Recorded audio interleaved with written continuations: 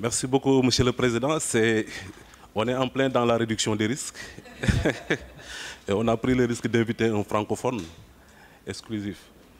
Voilà, je voudrais remercier, comme je l'ai dit euh, tantôt, les, organisateurs de cette euh, conférence euh, qui m'ont invité en tant que membre de la Commission ouest-africaine sur les drogues. Mais je parlerai en tant que acteur de, voilà, d'une expérience qui a été menée au Sénégal depuis, depuis 2008. Je commencerai d'abord par euh, fixer un peu le contexte au niveau régional. Je pense que je n'ai pas besoin de m'apesantir là-dessus. Des collègues l'ont fait. qui fait que de plus en plus, depuis 2005, nous notons un, trafic important dans la région, euh, avec 18 tonnes qui ont été saisies, euh, qui, ont, transité par l'Afrique en 2005, ce qui a montré une augmentation de la consommation aussi au niveau local. Et l'émergence aussi de plus en de plus en plus important du comportement d'injection. Euh, avec cette vulnérabilité importante au VIH qui a été attestée par certaines études, dont celle dont je vais vous parler tout à l'heure. Face, à cette émergence de ce phénomène nouveau, face à l'émergence de ce phénomène nouveau, euh, comme réponse que nous avons eue par rapport à, que nous voyons par rapport à, à cette situation, c'est une répression essentiellement répressive. Nous l'avons vu dans le cas au niveau de Kenya, mais aussi dans d'autres pays, avec des sanctions quand même qui sont très importantes. Quand on fait un peu la revue euh, des dispositifs euh, légaux euh, législatifs, c'est des sanctions très lourdes. le minimum de, sanctions, c'est 5 ans, par exemple, dans, dans, la région, par rapport à la consommation. Il y a cette loi sur l'injonction thérapeutique qui oblige les usagers à suivre un traitement médical et que l'usager, quand il est pris en possession du produit, euh, il doit de façon obligatoire, il y a, une, négociation qui s'est faite, s'il accepte d'être soigné, on le soigne contre son gré, même s'il n'est pas d'accord, pour éviter la prison, sinon c'est la prison, euh, carrément. Il y a aussi cette menace de représailles contre aussi les acteurs, c'est-à-dire les professionnels qui, qui veulent aider les usagers. Et ça, on appelle ça facilitation à la consommation. C'est-à-dire un acteur de terrain qui distribue des seringues, s'il est pris, il peut faire la prison aussi. Donc pour vous dire les menaces qui sont, qui sont, qui sont sur la tête des professionnels, et aussi euh, ce manque de disposition, de disposition, en tout cas de structure, en tout cas de système pour prendre en charge les usagers qui veulent arrêter leur consommation et qui veulent être aidés. Et dans, le, dans, tous les pays, nous avons fait des visites, euh, des visites pays au niveau de la Commission. Pratiquement l'ensemble des pays nient l'existence de consommation locale. Ils disent toujours que nous sommes un pays de transit ou bien une plaque tournante, mais rarement on reconnaît une consommation locale.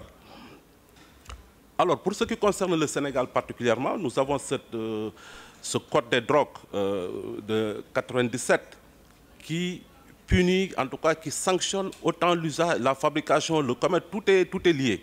Tout, tout, tout, jusqu'à la consommation. Il y a cette, loi, cette injection thérapeutique dont j'ai parlé aussi, mais surtout ce qui a aggravé, c'est cette loi qui a été votée en, en 2007 par un député qui, qui, était quand même aussi du monde associatif, hein, qui était associatif, mais dès qu'il a été élu député, il a fait voter une loi qui criminalise l'usage, avec un minimum de 10 ans en cas de, possession. Et cette loi, elle est toujours là et ça pose problème. Euh, comme tous les pays aussi, nous avons une structure de coordination de la politique de lutte contre la drogue, le CILD, qui, je ne sais pas dans d'autres pays, mais pour le Sénégal, c'est un pays qui c'est un, c'est une structure qui est logée au ministère de l'Intérieur qui est coordonnée par la police et qui pose beaucoup de problèmes aussi.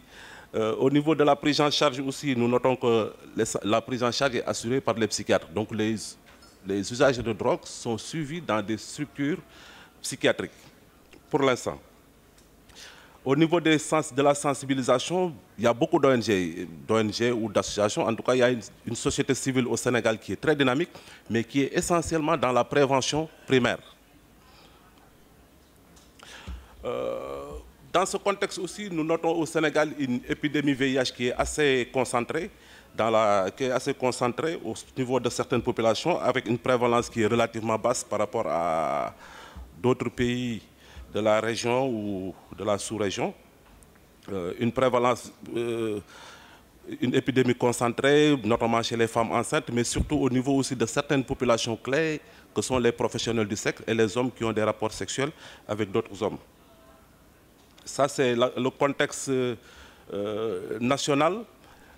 pour vous parler un peu de l'expérience sénégalaise qu'on a appelée UTSEN, avec acronyme qui est un acronyme qui signifie usage de drogue au Sénégal, que nous avons démarré en, 2008, avec comme but de pouvoir objectiver cette, vulnérabilité des usagers de drogue par rapport au VIH, euh, mais aussi de pouvoir promouvoir des réponses sanitaires en direction de ce groupe qui est exclu, en tout cas jusqu'à l'enquête du plan stratégique de lutte contre le sida. Euh, pour rappel, pour justifier un peu notre, euh, euh, le cadre dans lequel nous intervenons, il y a cette, cette directive quand même de l'ONU-SIDA qui, préconise au pays de pouvoir intervenir de façon urgente au niveau de ces populations. Pourquoi? Parce que c'est une population qui est extrêmement exposée au VIH, à l'hépatite C, à l'hépatite B, mais aussi à la tuberculose. Donc, euh, le docteur euh, Masso en a parlé et c'est quelque chose qui est inclus vraiment dans le programme et qui sont en train de dérouler. Et cette recommandation, qu'est-ce que disait cette directive? À partir du moment, parce que nous, notre crainte, c'était que si on fait une enquête et qu'on montre qu'il y a deux personnes qui utilisent, qui pratiquent l'injection, les gens vont nous dire que mais voilà, ça ne vaut pas la peine de mettre, en pratique euh, une politique, etc. Mais cette recommandation dit dans la mesure où il y a une population qui est vulnérable, qui est exposée et qui n'est pas prise en compte dans le programme, il y a nécessité de, mener, de mettre en œuvre le plus rapidement possible des activités de réduction des risques. Parce que ces deux personnes ou ces trois personnes qui pratiquent cette injection et qui exposent la population générale, ça peut être, en tout cas pour le cas du Sénégal, où on a une épidémie concentrée, si on ne maîtrise pas cette population, il peut y avoir une flambée de l'épidémie. Le risque, c'est ça. Donc d'où la nécessité de pouvoir mettre en place le plus rapidement possible euh, des activités. Alors, comment ça s'est passé au Sénégal? On a passé par plusieurs étapes. Une première étape de pré-faisabilité, c'est-à-dire c'était vraiment une enquête documentaire. Nous avons interrogé les, professionnels, nous avons interrogé la police, les professionnels de santé, les associations, etc., qui avaient vraiment cette préoccupation que nous allons voir aussi par rapport à... Parce qu'il y avait... Cette population était partout ignorée. Et même invisible, on ne les connaissait pas. La deuxième étape, c'était la faisabilité, où on, on, est allé sur le terrain, où à partir de la préfaisabilité, nous avons ciblé trois régions quand même qui étaient les plus exposées au niveau du Sénégal, que sont la région de Dakar, qui est la capitale que vous connaissez, euh, la région de Kies, qui se trouve à proximité de Dakar, mais qui a la particularité d'être une zone touristique euh, où la prostitution est très importante aussi, donc que nous avons ciblé, et aussi la région de Ziguinchor aussi, qui est une zone touristique aussi, mais où euh, voilà, les sites sont un peu éclatés. Et enfin, c'est l'enquête de faisabilité que nous... La troisième étape, c'est cette enquête, après la faisabilité, mais aussi il y a eu un grand programme de formation des intervenants que nous avons mis en place. Et au décours de cette enquête, notre préoccupation, c'était la prise en charge des usagers. Cette première enquête nous a donné les résultats suivants où il y a eu une enquête, une évaluation rapide de la situation qui a été menée en 2004-2005 par le CILD, qui était le comité interministériel, qui avait vraiment confirmé l'usage intraveineux. Cette préfaisabilité nous a montré aussi que très, peu de personnes sont impliquées du fait du contexte légal et social qui est très répressif envers les usagers de drogue. Et ce qui nous a poussé à initier cette recherche opérationnelle dont je vais vous parler dans la deuxième étape qui, qui, qui a montré qu'au Sénégal, peut-être par rapport à d'autres pays, comme drogue injectable, nous avons l'héroïne et la cocaïne crack, qui sont les produits qui sont injectés par les usagers. Cette préfaisabilité qui nous a montré aussi ces liens très proches entre l'usage de drogue, l'usage intraveineux, la consommation et la mobilité des usagers. Parce que c'est des populations qui sont aussi très mobiles, qui bougent beaucoup en fonction des, euh, des circonstances. Les Sénégalais qui vivent en Europe et qui, ont été rapatriés et qui avaient commencé leur consommation en Europe, qui sont rentrés et qui ont continué leur pratique. mais aussi les usagers de drogue, les touristes aussi.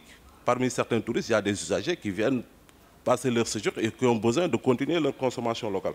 Ce qui fait que bon, on avait ciblé ces zones touristiques aussi dans l'après-enquête.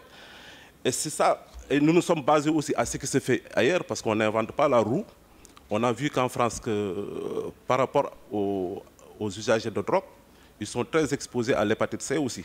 Et vu cette mobilité, ce lien qu'il y a euh, entre les usagers euh, qui vivent au Sénégal et ce qui se passe en France, nous avons aussi, parce que l'enquête en France avait montré quand même que 60% des usagers de drogue sont infectés par l'hépatite C. Donc nous avons décidé d'associer, euh, à côté de cette enquête de prévalence sur le VIH, d'associer euh, le test hépatite C. Donc ces résultats, de façon globale, nous, avons montré, nous a montré quand même que au Sénégal, à l'état actuel, on peut mener cette enquête de prévalence comportementale, mais aussi de pratique à risque. Avec cette préfaisabilité nous a permis aussi de construire le design de l'enquête qui va être menée en impliquant l'ensemble des partenaires, nous a permis de mettre en place un comité de suivi décisionnel qui va servir de plaidoyer, mais aussi qui va nous appuyer dans les décisions que nous, avons, que nous allons prendre et de pouvoir développer ce programme de formation dont je vous ai parlé, mais je suis surtout euh, de pouvoir aussi associer à cette enquête biologique une estimation de la taille des usagers. Parce que c'était important qu'on puisse dire, à Dakar ou au Sénégal, la population est estimée à temps. Donc, nous avons associé à cette enquête euh, biologique et comportementale l'estimation de taille. Et ceci nous a permis aussi, même avant qu'on fasse l'enquête, de pouvoir intégrer les usagers de drogue dans le plan stratégique qui a été révisé en 2010. Voilà ce des images que nous avons prises lors de la faisabilité, euh, qui avaient surpris certains quand on l'a présenté la première fois. D'abord, c'est des images quand même assez, assez parlantes. Une jeune fille qui est là en train de... Euh, excusez-moi. Euh, de préparer son injection avec les conditions vraiment dans lesquelles il est, elle, est, se trouve, avec la seringue. On voit qu'elle avait, déjà commencé à s'injecter, qu'elle a tenté une première fois, ça a échoué, parce que dans la seringue, on voit du sang. La cuillère qui est là, qui a servi à mélanger le produit, vous voyez la cuillère qui est posée par terre, hein. là c'est des risques. Là, on a vu aussi dans cette main que c'est quelqu'un qui a, voilà, qui a commencé à s'injecter depuis longtemps. Là, les conditions aussi, là, c'est un monsieur qui est en train de préparer aussi euh, son injection dans les conditions, avec les conditions dans lesquelles il est, d'insalubrité, de manque d'hygiène, etc. Donc, c'est des choses qui nous ont un peu alertés par rapport aux risques, etc. Alors, qu'est-ce que c'est cette enquête nous a montré? C'est une enquête qui a duré euh, quatre mois, qui a été réalisée au centre euh, hospitalier de Fan. Donc, parce que nous avons voulu vraiment loger cette enquête dans le cadre sanitaire, pour dire c'est pour c'est pour des raisons de santé que nous voulons mener cette enquête. Donc les résultats, c'est on, peut estimer la population des usagers de, drogue dans la région de Dakar, mais surtout les usagers de drogue précaires, parce qu'il y a donc il y a d'autres populations qui n'ont pas été euh, voilà, touchées par l'enquête. Donc à 1324, avec des prévalences quand même assez euh, préoccupantes, 5,2%. Euh, donc presque six fois supérieur à la moyenne, à la prévalence nationale. Pour l'hépatite B, on est à 7,9%. Pour l'hépatite C, on est à 23,3%. Mais si on voit, chez, les personnes qui ont eu au moins à pratiquer une injection dans leur vie, voilà les, résultats que nous avons, presque 9,4% euh, chez les injecteurs qui sont infectés par, par le VIH euh, si on prend les femmes et on compare aux hommes, 13% sont infectés par l'hépatite C contre 3% chez les hommes. Donc pour vous dire l'exposition des, femmes par rapport au VIH, euh, si on prend les injectrices par rapport aux, non aux, injecteurs, on est à 21%. Dès l'instant où on est femme et qu'on s'injecte, on est très exposé par rapport au VIH. Ça aussi, les études de nos collègues euh, de, de Tanzanie l'ont montré. Par rapport à l'hépatite C, c'était aussi notre, notre préoccupation. On est à 38% avec une prévalence national qui est inférieur à 1%. Donc, euh, on a fait l'enquête, mais comme c'était une recherche opérationnelle, on s'est dit, mais il ne faut pas qu'on en reste là. Euh, il ne faut pas qu'on en reste là, que ça reste une enquête. Donc, derrière l'enquête, il faut aussi continuer les activités, euh, proposer quelque chose aux, usagers. Et nous avons démarré ce travail dès le mois de septembre 2011. Donc, avec une équipe Outreach qui est composée de neuf travailleurs sociaux qui vont sur le, terrain pour maintenir cette relation avec les usagers parce que notre, notre préoccupation, ce n'était pas de, rester à l'étape d'enquête, mais de pouvoir construire un programme de soins. D'où l'importance de cette équipe qui a pu réaliser à la date de juin 2013 443 euh, sorties, 6200 usagers qui ont été rencontrés, 300 références, parce qu'on réfère aussi dans les structures de santé qui ont été sensibilisées en amont, et 100 usagers qui sont vus en consultation médicale au niveau du centre hospitalier de Fan. Nous avons réparti Dakar en quatre zones. Euh, voilà les zones de Dakar, pour ceux qui connaissent euh, Dakar. Voilà les conditions dans lesquelles nous trouvons les usagers, les lieux sur lesquels nous les rencontrons. Ce n'est pas dans les régions, ce n'est pas dans la banlieue de Dakar, mais là c'est en plein Dakar, hein. dans un quartier où, voilà, c'est là où nous les rencontrons, c'est là où les équipes, là on voit un membre de l'équipe qui est en train de récupérer des seringues usagées, il donne, et l'usager aussi, qui garde des seringues, lui donne. Nous n'avons même pas de conteneurs. Les conditions dans lesquelles nous travaillons, c'est des bouteilles d'eau que nous utilisons pour récupérer les seringues, pour faire de la récupération. Là, c'est un membre de l'équipe qui est en train d'organiser une causerie sur la voie publique avec les usagers aussi, dans ces quartiers dont je vous ai, dont je vous ai parlé. Voilà, là, c'est euh, là aussi euh, un aperçu du travail réalisé par l'équipe de terrain avec le nombre de seringues qui ont été distribuées et le nombre de seringues qui ont été récupérées, avec une bonne moyenne autour de 60%, je crois, de récupération des seringues distribuées. Une autre, préoccupation aussi, nous, c'est cette surmortalité des usagers de drogue. En moins de deux ans, nous avons un an et demi, nous avons répertorié 51 décès parmi ces usagers, avec des causes de décès aussi variables, mais surtout les injecteurs qui sont, près de la moitié sont des injecteurs. Ils meurent comme des mouches. Il ne se passe pas une semaine où on nous annonce un usager qui meurt. Les effets de l'intervention, parce qu'on essaie aussi d'évaluer un peu euh, notre travail depuis lors, c'est l'inclusion des usagers, des, usagers comme population clé dans le plan stratégique national. Cette euh, étude qui a pu amener un lever de bouclier au niveau de effet de levier sur les financements avec euh, beaucoup de partenaires impliqués, Hein. Euh, nous avons pu valider un programme multisectoriel aussi, dans le cadre du VIH aussi. Et en 2014, cette année, c'est-à-dire d'ici le mois de juin, nous allons ouvrir euh, le centre euh, de prise en charge, qu'on appelle centre de prise en charge intégré des addictions au niveau de l'hôpital de Fan. Donc, sur le plan épidémiologique, nous avons pu tirer des leçons sur la prévalence du VIH. le faible coût, cette étude euh, qui nous donne des, données importantes quand même et qui a pu, euh, avec un investissement qu'on peut dire euh, moyen, hein, sur le plan méthodologique aussi, la mise en place de ce comité multidisciplinaire qui a pu nous aider dans les décisions que nous avons prises, l'importance de cette étude de faisabilité qui a été d'un grand apport, mais surtout la méthode que nous avons utilisée, qui est une méthode assez originale, qui permet d'investiguer vraiment les populations cachées avec aussi cette méthodologie qui est faisable, mais quand même coûteuse, qui nous a coûté 200 000 euros dans sa phase de réalisation.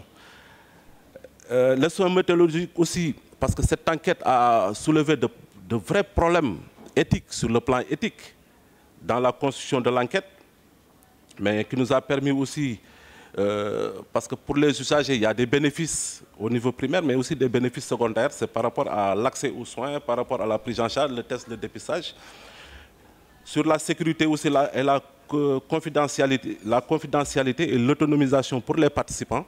L'équipe d'enquête aussi du centre, parce qu'ils ont été formés, toute l'équipe du centre a pu être formée les travailleurs de santé, et ça, ça a permis aux travailleurs vraiment de changer leur vision par rapport aux usagers. Parce que leur crainte, c'était que si on, va amener ici des usagers de drogue, c'est par rapport aux fantasmes liés à ça. Ils vont nous casser nos appareils, ils vont nous casser, parce que c'est un, centre tout neuf, euh, équipé, Ok, merci. Bon, d'accord. Ils vont nous casser nos matériels, notre centre. Donc, ça a permis vraiment de changer leur vision par rapport aux usagers. Parce qu'en quatre mois, il ne s'est rien passé, aucun incident. Ils n'ont jamais eu de problème. Et c'est là où ils se sont dit, mais effectivement, docteur, c'est des, des, malades, des malades qu'il faut aussi prendre en charge, et non pas des délinquants. Donc, pour les usagers aussi, c'était gagnant-gagnant parce que euh, maintenant, ils voient l'hôpital autrement. Ce n'est plus un lieu où on va les juger, où on va incriminer leurs pratiques, mais pour eux, c'est devenu un lieu de soins auquel ils peuvent avoir recours en cas de besoin. Et ce qui nous a permis aussi, cette enquête, de démarrer rapidement ce programme d'échange de seringues, de distribution de seringues, que j'ai dit en 2000.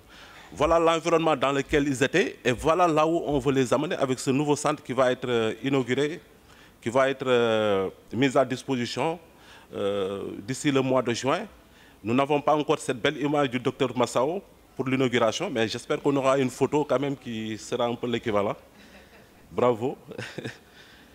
Donc les principaux avantages, je vais terminer bientôt. Cette approche, vraiment c'est une approche conviviale, très humaine, qu'on a essayé d'offrir aux usagers pour leur permettre l'accès de soins, mais aussi renforcer les, capacités de gestion, mais aussi clinique des, consommateurs, avec cette question des CDI qui est désormais devenue une priorité.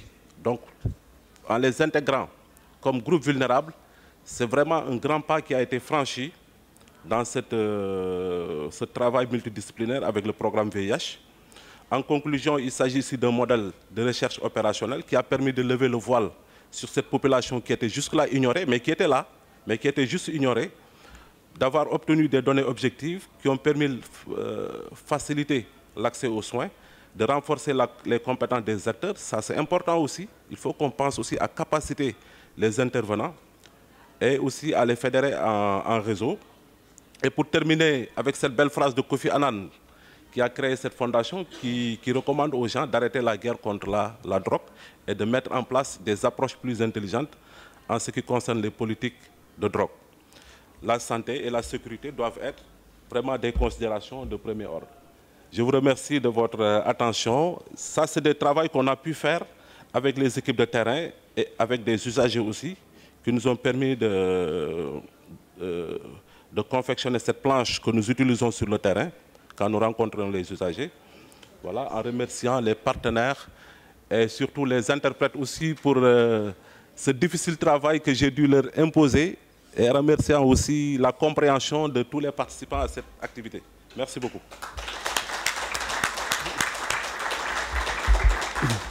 Merci bien, euh, Dr. Idrissa.